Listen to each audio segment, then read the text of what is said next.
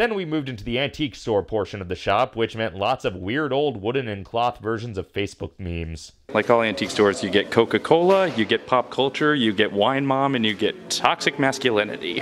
When we were here the other day, I saw this Bar and Shield Ave out of the corner of my eye on Swartz said Barbra Streisand Ave, which seemed off brand for a line of Harley Davidson street signs, but I wasn't questioning it. I mean, Cher's more on brand for Harley Davidson. Yeah. This sign is for conscientious objectors. hey folks, it's me, Harry the drop kicking eagle. I was always more of a checkers man myself. I can't tell if they're using the wrong two on purpose as part of the joke. Mm-hmm. like, I'm not one of you intellectuals who plays chess and uses the right words. Oh, babe, look, number one and two in the charts when you were born. With an introduction by Bert Lahr Jr., he played the cowardly coupling.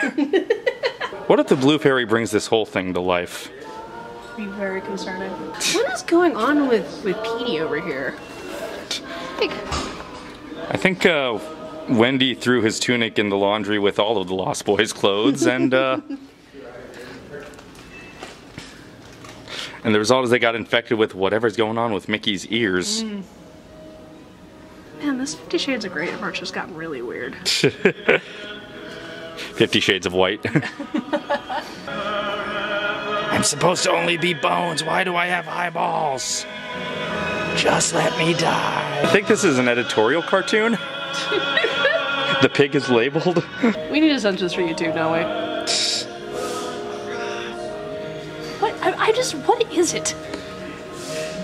I mean, I know what it is. I mean, but it's a, what is its it's, a, purpose? it's a kid peeing into it. Is it a bottle opener? Because a lot of these seem to be bottle openers. Yeah, it's a bottle opener, but the, what? But it's a kid. It's it belongs with that naked fat statue in National Harbor. Hmm. So here's all the Jesus stuff right next to all the snarky stuff. Mm-hmm. This star is just somebody uh, struggling to remember the lyrics to that Phil Collins song from Tarzan. and here's where the GOP comes to stock up. Oh no! The Michelin Marsh is coming.